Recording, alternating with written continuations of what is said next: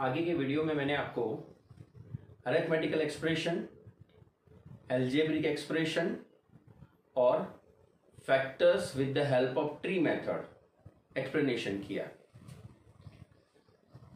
एक बार छोटा सा रिवीजन ले लेता हूँ। इसी सब में ये एल्जेब्रिक एक्सप्रेशन है इन एक्स वाई ये एल्जेब्रिक एक्सप्रेशन है इन वाई ये एल्जेब्रिक एक्सप्रेशन है इन वाई ये एल्जेब्रिक एक्सप्रेशन है इन पी एंड क्यू अब मेरे थ्री और क्वेश्चन और ये हमारे आज का लास्ट टॉपिक है, कि मैंने कुछ एक्सप्रेशन आपके सामने लिखे हुए हैं एल्जेब्रिक एक्सप्रेशन अब इन एल्जेब्रिक एक्सप्रेशन में अगर मैं आपको पूछूँ कि इसके फैक्टर क्या हो गए जस्ट फॉर रिवीजन तो इसके फैक्टर क्या? एक्स कॉमा वाई फोर के फैक्टर निकलेंगे नहीं, क्योंकि फोर के साथ कोई अननोन नंबर नहीं है। इसके फैक्टर क्या? तो थर्टीन के फैक्टर नहीं निकलेंगे। माइनस वाई स्क्वायर के फैक्टर होंगे वाई एंड वाई थर्टीन के फैक्टर नहीं होंगे। इसका फैक्टर होगा वाई इसका फैक्टर होगा फाइव वाई एंड वाई इसका फैक्टर होगा four P and P and Q three P Q and Q इसका फैक्टर मिलेगा। नहीं, ये मैंने आपको फैक्टर्स का रिवीजन दिया।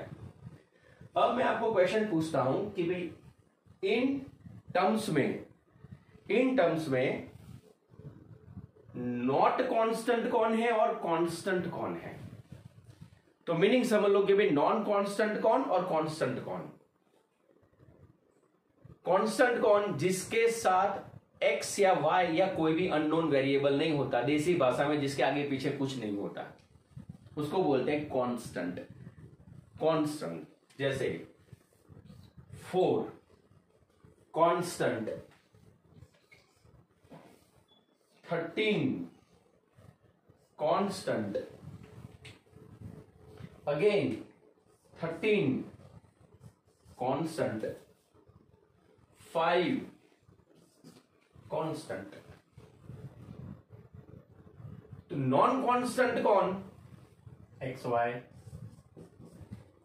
इसमें माइनस वाई स्क्वायर इसमें minus Y plus five Y square इसमें four P square Q minus three P Q square ये हो गए नॉन कॉन्स्टेंट टर्म क्लियर हो गया?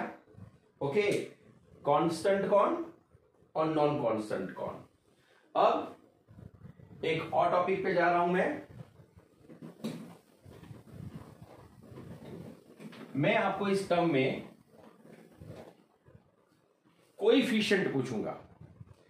मैं इसमें पूछता हूँ कि एक्स का कोई कौन?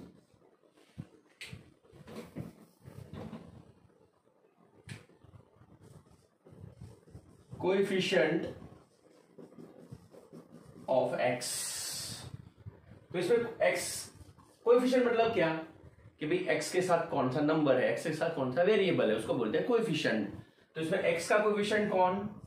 वाई इसमें एक्स का कोएफिशिएंट कोई नहीं, क्योंकि एक्स है ही नहीं. इसमें एक्स का कोएफिशिएंट कोई नहीं, क्योंकि एक्स है ही नहीं. इसमें एक्स का कोएफिशिएंट कौन? कोई नहीं. क्योंकि एक्स है ही नहीं। अच्छा। अब मैं बोलता हूँ what is the coefficient of Y इसमें वाई का कोएफिशिएंट कौन? तो वाई का कोएफिशिएंट कौन? एक्स इसमें वाई का कोएफिशिएंट कौन? बी केयरफुल इसमें वाई का कोएफिशिएंट कौन? एक्चुअली टर्म क्या दिया है आपको? माइनस वाई स्क्वायर दिया है। अगर मैं माइनस वाई स्क्वायर को ऐसा लिखूं तो चले माइनस वाई इंटू वाई तो y का कोएफिशिएंट कौन हुआ? Minus Y. सीधी तरीके से कि भाई y को किससे मल्टीप्लाई करूँगा तो माइनस वाई स्क्वायर आएगा तो y को माइनस वाई से मल्टीप्लाई करूँगा तो माइनस वाई स्क्वायर आएगा राइट लाइक इसमें y का कोएफिशिएंट कौन? माइनस वन अगर मैं इसमें पूछू, y का कोएफिशिएंट कौन? तो ये फाइव वाई स्क्वायर को आप ऐसा लिख सकते हो फाइव वाई इंटू वाई तो अगर ये टर्म में बात करो तो वाई का कोविशन कौन? फाइव वाई हाँ इसमें पूछूँगे भाई वाई स्क्वेयर का कोविशन कौन? तो आंसर क्या लिखने का? फाइव लेकिन वाई का कोएफिशिएंट पूछूँ तो फाइव वाई इसमें वाई का कोविशन मिलेगा ही नहीं, क्योंकि वाई है ही नहीं. अब आपको ये टॉपिक बहुत अच्छी तरह से समझ में आ गया होगा। मैं एक बार रिपीट कर लेता हूँ। आज हमने दो वीडियो भेज रहा हूँ मैं। दो वीडियो में सबसे पहले वीडियो में मैंने आपको भेज रहा हूँ। A arithmetical expression, what is a algebraic expression? And how we can find out factors with the help of tree method. मैंने दूसरे वीडियो में आपको भेजा कि कांस्टेंट कौन होता है? नॉन कांस्टेंट कौन होता है? And how we can find out coefficient of different different term आपको आज के टॉपिक समझ में आ गए होंगे। नेक्स्ट वीडियो में मैं आपको आगे के टॉपिक भेजूँगा। तब तक के लिए टेक केयर फैमिली में मम्मी पापा को एंजॉय करो। बहुत कम टाइम देते हैं मम्मी पापा हमको। तो ये मस्त वक्त है उनके साथ बिताने का। और एक बात, रोज उनसे एक नई बात सीखना। अगर आप बॉय कैरेक्टर हो तो आप अपने पापा से, उनके बिज़नेस के बारे में कोई एक नई चीज़ या कहीं पे जॉब करते हैं तो जॉब प्रोफ़ाइल के बारे में एक चीज़ और, अगर आप गर्ल कैरेक्टर हो तो मम्मी के रसोई में जाके एक चीज़ रोज बनाने का सीखना।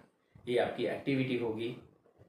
हमको गलत समय में, बुरे वक्त में भी अगर जो कुछ सीख ले, वही होता है इंसान। Thank you Sandeep sir. Bye